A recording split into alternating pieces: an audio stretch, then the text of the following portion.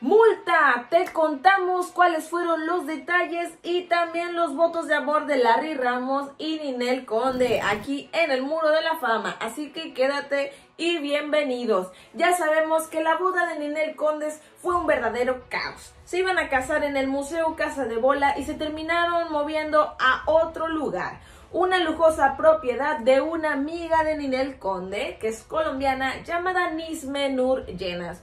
Es una empresaria life coach que se dice que se conocieron porque ella, pues Nisme, vende propiedades y Ninel Conde lo que hacía es llevarle unos buenos y poderosos clientes que le iban a comprar esas propiedades y luego se repartían la, comisión. Esta propiedad es tan lujosa que pues se dice que ahí llegaron a grabar escenas del señor de los cielos. La cuestión es que esto estaba en un fraccionamiento privado, en donde pues no se hacen, no es un salón de eventos, amigos, no es para hacer una boda, número uno. Y dos, en plena crisis sanitaria, en semáforo todavía naranja. Por esta razón fue que no se casaron en el museo, en el, bueno, en el salón de eventos Museo Casa de Bola, porque estamos en crisis sanitaria y clausuraron el lugar. Y ellos a rebeldía se fueron a cazar a un fraccionamiento. Los vecinos enloquecieron y enfurecieron por el hecho de las largas filas y todo el tráfico que se hizo por los invitados y el caos. Ahora se quejaron con los dueños de, este fraccionamiento y no quieren que se repitan ese tipo de acciones y le van a poner una multa a Ninel Conde por 25 mil pesos mexicanos. Así es.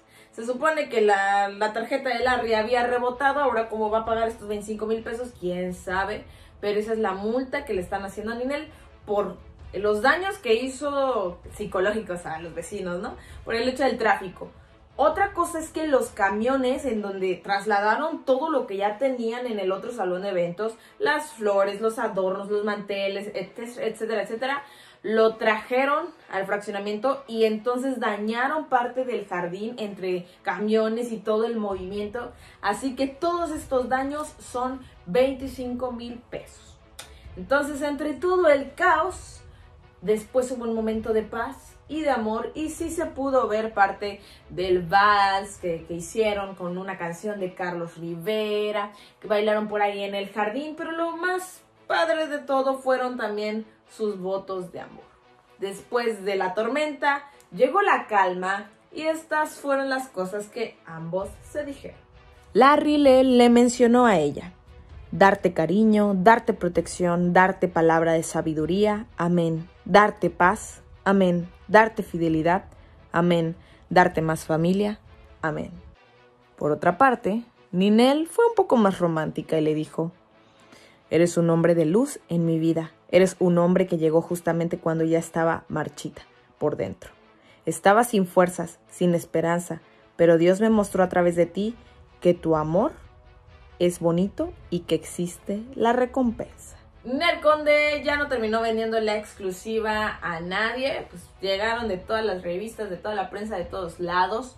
Y pues bueno, siempre este caso curioso de por qué Ninel Conde se casó tan apresurada apresurada porque ni siquiera es una buena época. Deja tú que, bueno, nada más llevan ocho meses de noviazgo.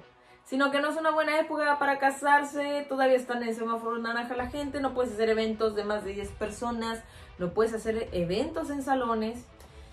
Y pues bueno, la prisa fue tanta que a Ninel Conde no le importó. Y ahí está, casada con Larry, quien se dice que solamente la está utilizando para poder poner las propiedades a nombre ahora de su esposa propiedades que las va a licuar y ese dinero ya no va a tener el juzgado de Estados Unidos, la justicia de Estados Unidos que lo está buscando y que le va a checar todas las propiedades y le va a quitar cosas para que pague todo lo que debe, todo lo que le quitó a la gente. O sea, Larry Ramos no quiere ni ir a la cárcel y no quiere ni pagar tampoco todas las deudas. Así que ese podría ser el plan macabro, por supuesto es una especulación, no se ha comprobado, pero tú dime, ¿qué opinas de esto? Déjamelo abajo en comentarios, no olvides seguirnos en nuestra página de Facebook y aquí en el canal suscríbete, activa la campanita de notificaciones para que seas de los primeros en enterarte qué está pasando con los famosos. Esto es el Muro de la Fama, yo soy Claudia Bigman y nos vemos en otro video.